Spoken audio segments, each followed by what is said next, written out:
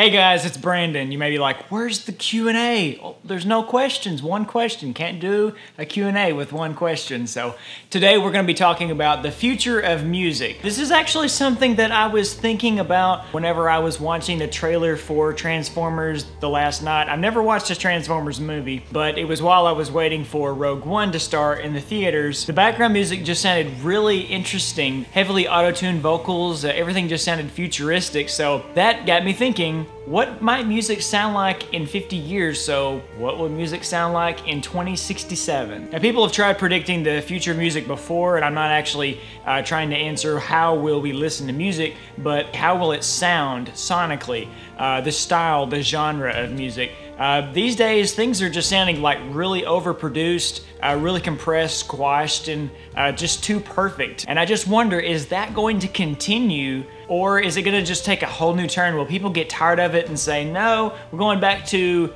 the organic sound, and everything's becoming more electronic too. Have you noticed? Have you noticed the dubstep in like even TV commercials? I remember the first time that I heard dubstep on YouTube.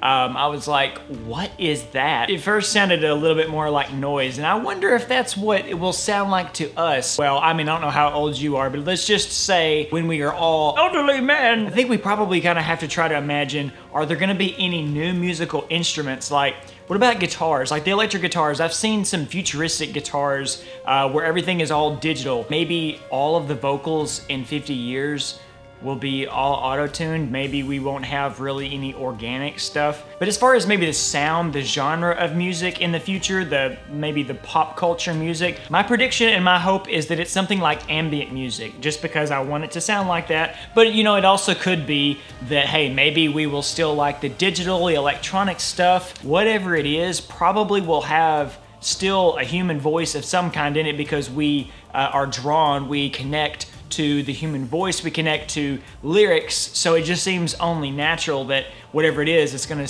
uh, have lyrics in it. While it's impossible to predict what it will sound like, I'm really intrigued by just, you know, thinking about what will all those TV commercials, what will, what will you see uh, on TV in 2067? What will be the predominant sound? Uh, at least what will the style be? Will it be something in, more energetic or will people have gotten tired of the energetic and will it just cycle back to something more classical? I kind of think that whatever we have in 2067 is going to be uh, yet another recycled idea because think about uh, about everything that you see cars uh, how how cars are going to the more boxy shape it's got to be something that we've recycled but have something a new element in so I would love to hear your predictions. What do you think that music will sound like in 2067? Let me know in the comments below. Let's discuss it in the comments below. And also, I think it would be fun to try composing what music might sound like in 2067. So creating a song that is from the future as though I went to the future and came back and said, look, here is the hit song. This is, this is it. Um, so maybe trying to create that. Uh, what would it sound like?